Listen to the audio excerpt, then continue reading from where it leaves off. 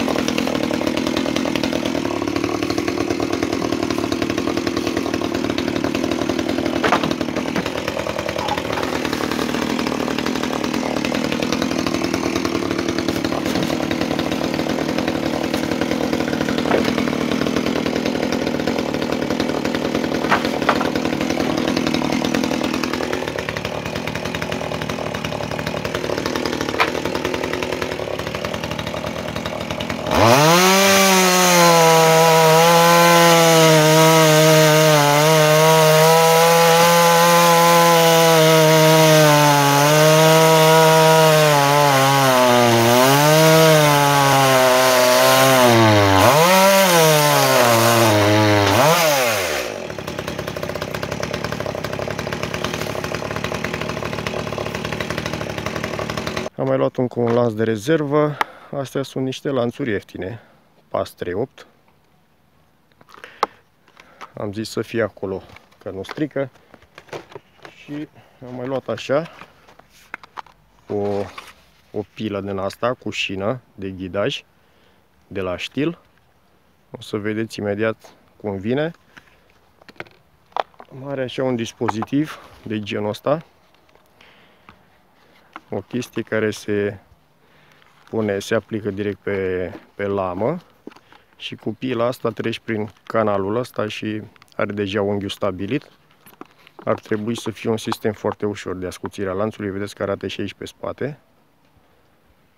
Cam cum vine. Deci se aplică pe, pe lamă, după cum vedeți și în uh, clipul ăsta lor de prezentare de la stil.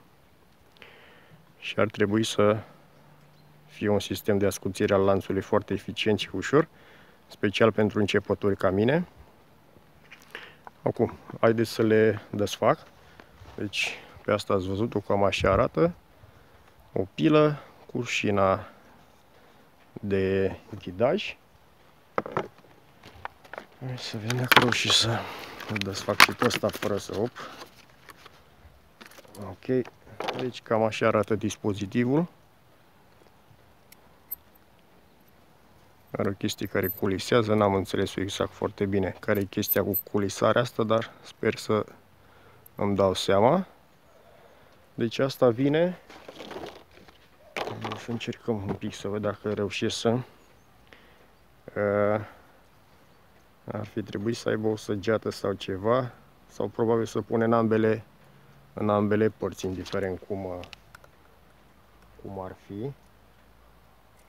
Uh,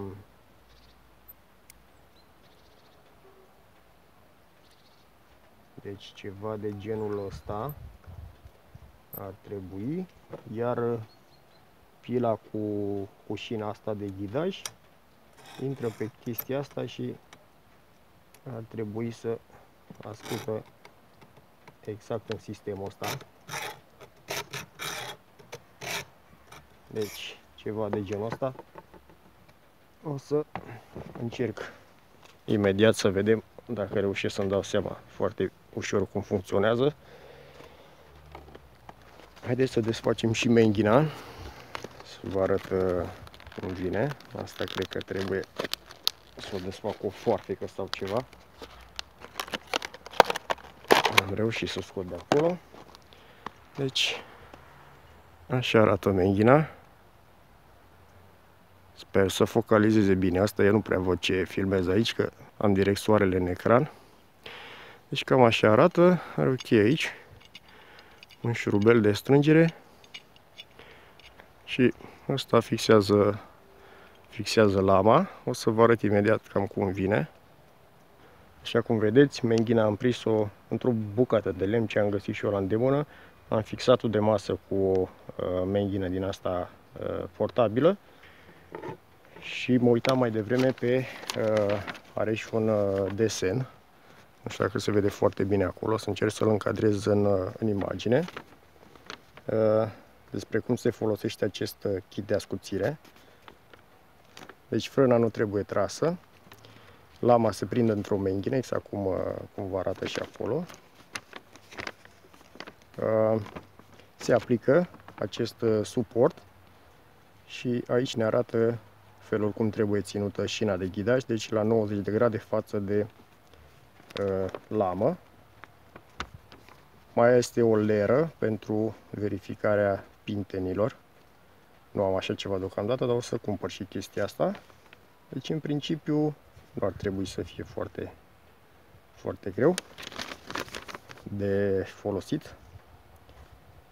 Uh, o să însemnez un dinte, ca să nu-l iau de două ori la mână. Și dacă tot am pus șina pe ăla, o să-l însemnez pe asta cu un marker roșu. Uite așa. Pun asta la loc. Așa cum v-am arătat mai devreme, șina trebuie să intre aici. Împins în față.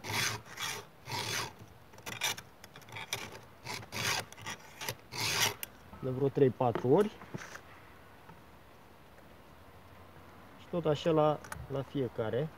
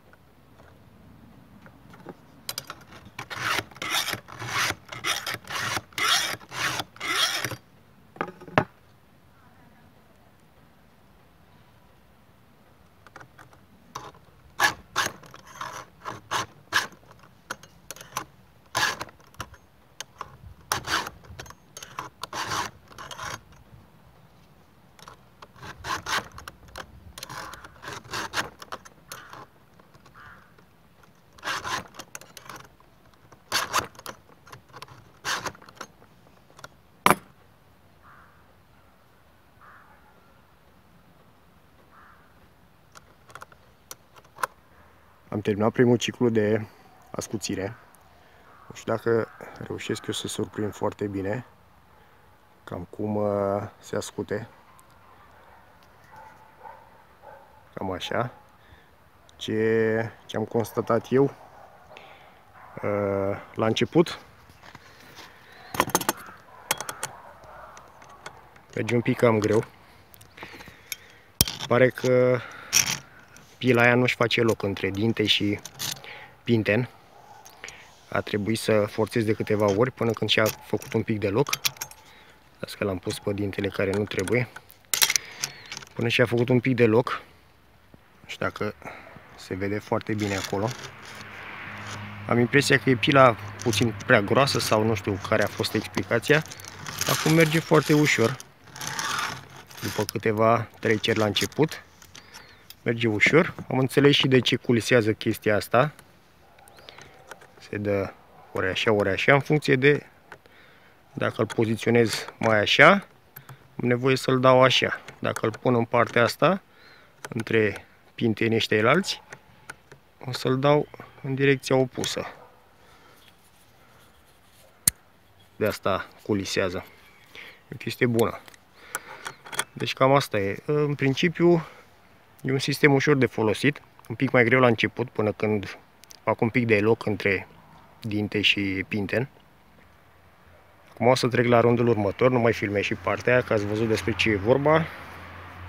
Și poate găsesc și un lemn prin curte, să-i fac o probă, să văd cum taie, dacă l-am ascuțit bine și cam care este randamentul cu, cu lanțul ascuțit. Am terminat de ascuțit și rândul celălalt. Uh, da, exact cum v-am spus, la început, uh, la fiecare dinte nou, uh, nu prea intră pila, dar pe urmă își face loc și intră foarte bine, alunecă, alunecă fără probleme. Îmi place sistemul ăsta, în special pentru mine, că mă obligă practic să ascult dintele în unghiul care trebuie. Dar asta merge folosită și, și separat și fără separatorul ăla. Nu știu dacă vedeți voi, dar are trecute uh, unghiurile pe șina asta și se poate folosi se poate folosi și direct fără suportul ăla, dar deocamdată pentru mine, care sunt începători și nu mă pricep foarte bine să ascult lanțul, o să folosesc uh, suportul ăla. Oricum e ușor de, de folosit. Am avut o mașină din aceea de ascuțit lanțul, o luasem de la Dedeman, un Grunman, eu nu m-am descurcat niciodată cu mașina aia, ori nu am știut eu să o folosesc foarte bine, dar am impresia că pierdeam mult mai mult timp. Așadar am scăpat de ea și am luat uh, setul ăsta. Până acum sunt mulțumit. În orice caz, și dacă ar fi să, să strig lanțul sau așa, v-am spus, am unul de rezervă și astea sunt și foarte ieftine. E undeva la 42 de lei un lanț de asta, deci nu e o problemă pentru mine. Menghina iar la fel e foarte bună, uh, utilă.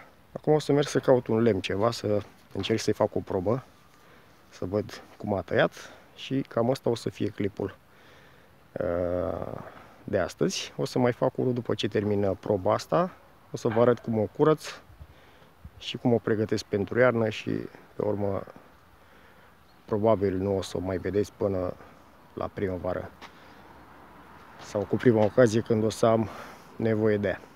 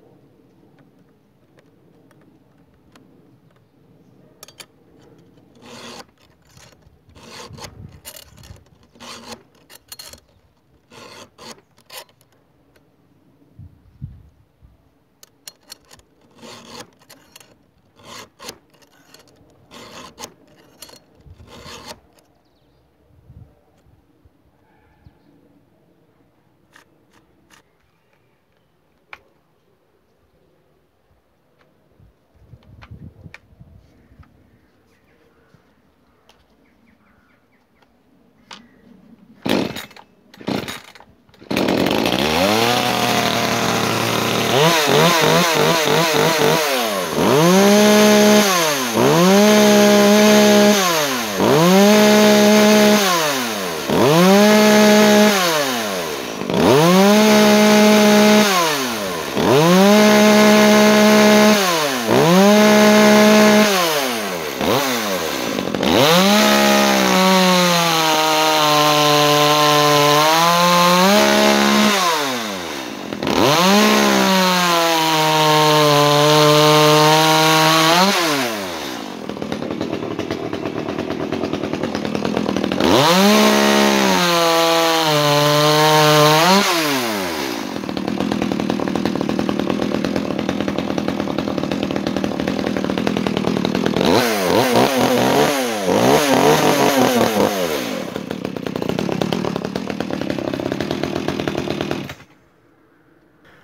Gata, am nimerit-o acum. Am, uh, am mai ascuțit încă o dată lanțul, ați văzut. Am trecut de mai multe ori cu pila, am insistat și acum problema văd că s-a rezolvat, taie drept și taie ușor. Se vede și diferența la rumeguș, că e un pic mai mare față de la vechi. De prima dată.